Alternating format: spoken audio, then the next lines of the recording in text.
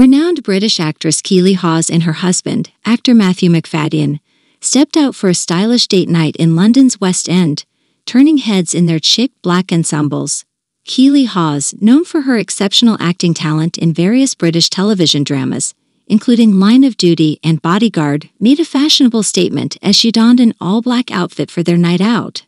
Matthew Macfadyen, equally celebrated for his roles in television and film, complemented his wife's elegance with his dapper attire. The couple's coordinated fashion choices exuded sophistication and style. Their date night in London's West End, known for its vibrant theatre scene and upscale dining, showcased the couple's appreciation for the arts and their commitment to spending quality time together. Keeley Hawes and Matthew Macfadyen's public appearance is a reminder of the enduring bond and shared interests that have characterized their relationship. The couple's careers in the entertainment industry have earned them both critical acclaim and a loyal fan base. The pair has often been admired for their on screen chemistry and their ability to bring depth and authenticity to their roles. Their date night serves as a glimpse into their off screen partnership and the affection they have for each other.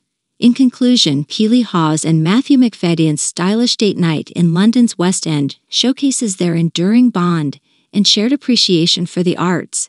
The couple's coordinated black ensembles exude sophistication and style, reflecting their celebrated careers in the entertainment industry.